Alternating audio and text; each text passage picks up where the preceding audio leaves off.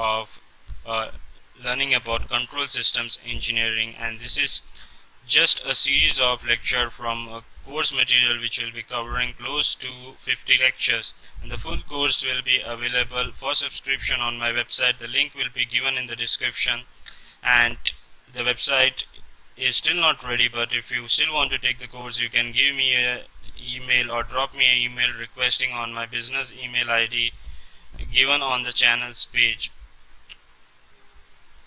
so for that time being also if you like this uh, like my work uh, since I am doing this for almost free and just still in the process of generating revenue and it could be some useful for the time I am putting if you could like to become a Patreon and uh, could help support me in generating or support me through Patreon through his channel uh, if you like this work of course if you don't like there's no need uh, to go to patreon and anyway nobody will go unless uh, they really have a lot of money or even little bit money but interested. But anyway that are long stories but it's still just to highlight and you'll get uh, the description on uh, uh, the patreon link in my description. But the things which I am going to show in this video is how to draw a block diagram of a closed loop system. So this is a modeling of control system using block diagram. Or block diagram representation. So the block diagram of a closed loop control system. So before going into I would like to say about two important components of any block diagram. One is a transfer function which I explained in the previous lecture. So there will be input to any transfer function and there will be output. So both these will be considered as signals when you are drawing it in the form of so the model will anyway work if you are converting uh, having a speed control system any control system these will be electrical signals can be imagined in the form of electrical signals which can be varied or measured at the input and the output. And this is the summing point here. So the use of uh, the summing point here is that it is can be used to add or subtract for two or more signals.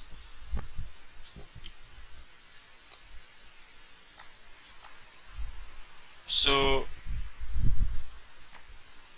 the next video is I will take a closed loop control system.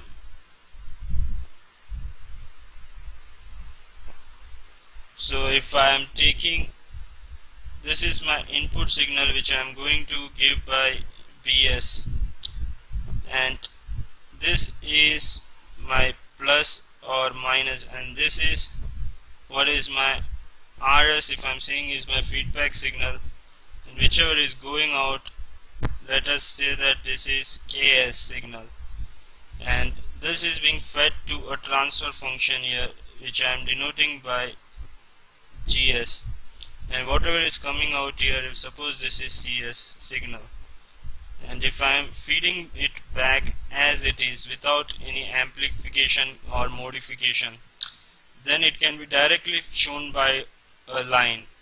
And this is my closed loop system.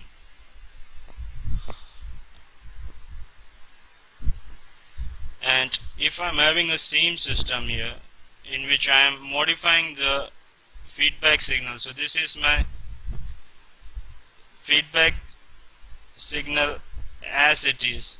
If I'm modifying it using some kind of a gain or some kind of a logic whichever will be correct according to the mathematical model which I am employing or my system model.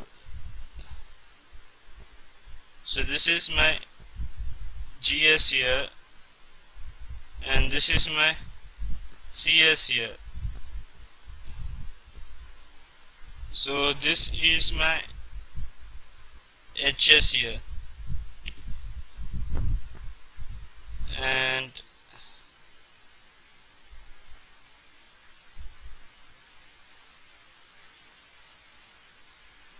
if I am saying that this is my RS and this is my CS and this is my feedback signal here so now this is a very clear and here there is a feedback is happening through a gain.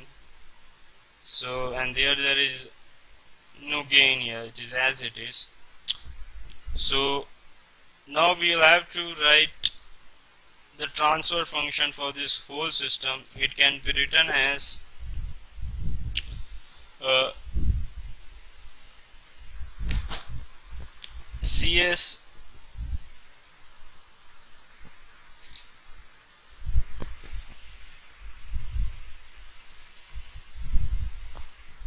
upon BS that is my output upon input is equal to or CS upon uh, BS is equal to GS into HS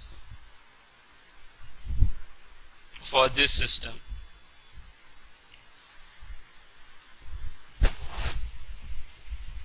So that's how you can write the transfer function in a very simple terms.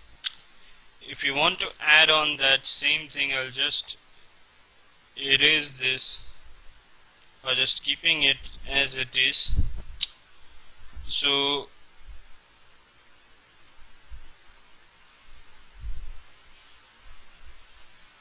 if I say that my for this case but I'm considering for this case when I'm taking CS is what is my output signal. So if I'm saying that this is my first step here so this is my output CS is equal to whatever is my GS into whatever is my KS. So this is my first equation which I can get here and this is my second equation is computing whatever is my KS. So KS is equal to BS that is my input. And this is my output. So this is my input uh, minus whatever is my feedback signal. So that is my KS. And my RS whichever I'm getting here as feedback signal is HS into whatever is my output which is HS into CS and finally if I take this as my third equation and if I move it substitute the value of GS KS here then what I will get here is my fourth equation so CS equal to GS into BS minus RS. And this is equal to this when you solve it or substitute the value of RS which is equal to HS into CS. And finally you can simplify it into this form. This is my final transfer function or final solution of the output upon the input.